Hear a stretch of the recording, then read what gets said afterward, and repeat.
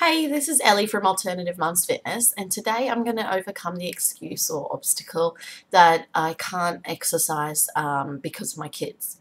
So, I really believe that kids should fit in around our lifestyle, not us around theirs.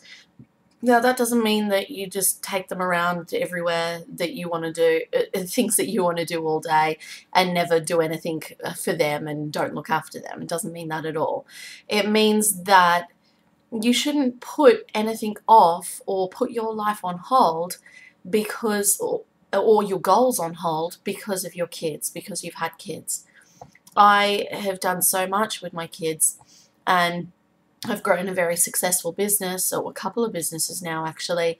Um, I'm able to go out there and help others whilst being a positive role model for my kids. Not having my kids in full time daycare, they're around me all the time, but they know that they fit in around my stuff, and then we also have time together as well. So the same goes for your health. Um, include them in into your health and fitness goals. Show them that exercise is normal, that it's fun.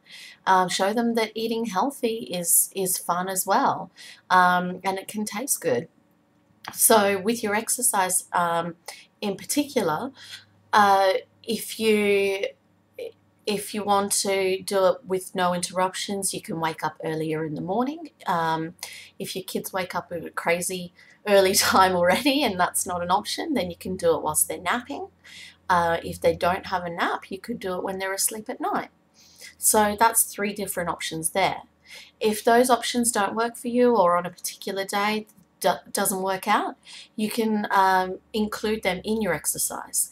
So, for example, if you've got a baby, uh, you can do exercises like baby push ups, where you have your baby um, down on the ground in between your hands, and each time you lean down for your push up, you give them a little kiss down the bottom. They really love that. Uh, another one that you can do is uh, overhead presses. So you have your baby in your hands and you're lifting them up and down like that great for your shoulders, that one. And they just laugh and, and they love that one. You can't do it with babies that are too young they need to have some, some head control. Just think about safety, obviously. Um, even my daughter, who's three and a half, she still loves that one, but it gets a bit harder as they get heavier, obviously.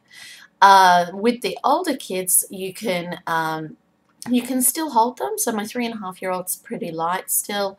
Um, you can hold them to do squats um, or they can copy off you. So my daughter loves copying off me doing squats, lunges, burpees, wall sits, all sorts of things.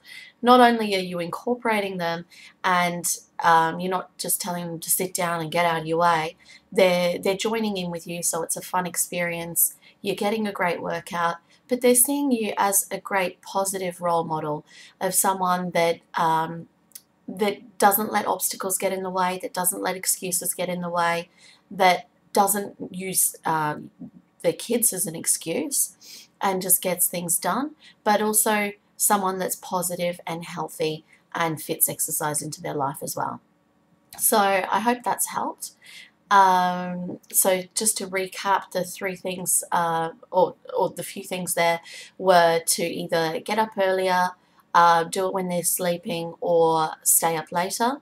Um, do it when they're in bed, um, or include them in your exercise. So um, as I just mentioned, that's things that you can do around the house with them. You could also take them for a walk, chuck them in the pram, go for a nice fast walk. You've got the extra resistance of the pram. Uh, take them to the playground, run around on the playground, do some dips on the bench.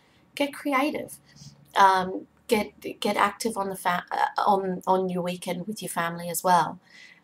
If you incorporate these things into your lifestyle, it doesn't seem like a chore, um, and it doesn't seem so hard. It's it's fun and it's part of your family, and you're being a good role model for your kids and for your whole family.